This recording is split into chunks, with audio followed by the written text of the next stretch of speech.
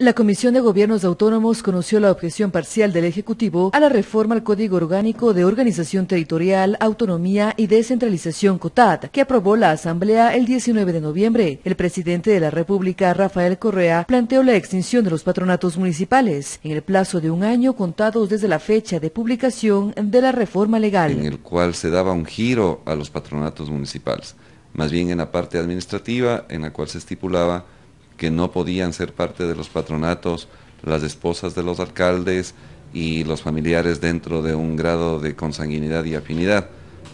El mismo fue presentado al Ejecutivo y ha recibido una objeción parcial, un veto al artículo 62 de la mencionada ley. En un texto reciente, la normativa sugiere la eliminación de los patronatos a nivel nacional. El, el nuevo texto enviado, la nueva propuesta enviada por el Ejecutivo, señala la extinción de los patronatos municipales, tanto aquellos que pertenezcan a los gobiernos autónomos descentralizados como a los gobiernos provinciales o a los distritos metropolitanos. Para el gerente del patronato municipal en Ibarra, la resolución preocupa. Sin embargo, añade que la meta es centralizar la atención a la comunidad a través de los gobiernos autónomos descentralizados. Bueno, hay algo de, de nostalgia de pensar en en el nombre de la institucionalidad de los patronatos municipales, pero tenemos muy claro que más bien el objetivo de esta reforma propende a ser más eficientes. Para Proaño, desde el 2015 en el municipio de Ibarra se podría dar paso a la creación de una dirección especial para atender las funciones antes ejecutadas desde el patronato. Y que a través de los gobiernos autónomos descentralizados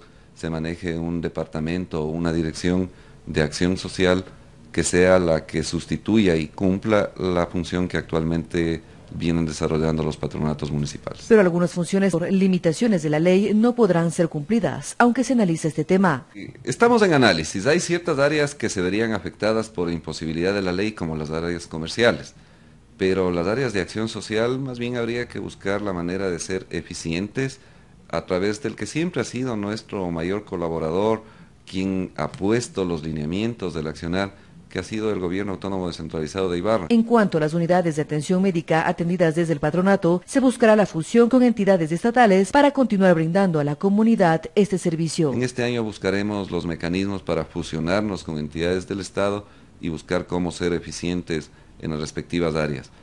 De comisariatos y farmacias, las áreas comerciales, no me atrevo todavía a pronosticar si existen ciertos impedimentos para instituciones del Estado el tener este tipo de actividades por cuanto deben ser compatibles con la ley de compras públicas, lo analizaremos. Con imágenes de Eddie Mafla en Ibarra, Marilyn Rodríguez, Prisma Informativo.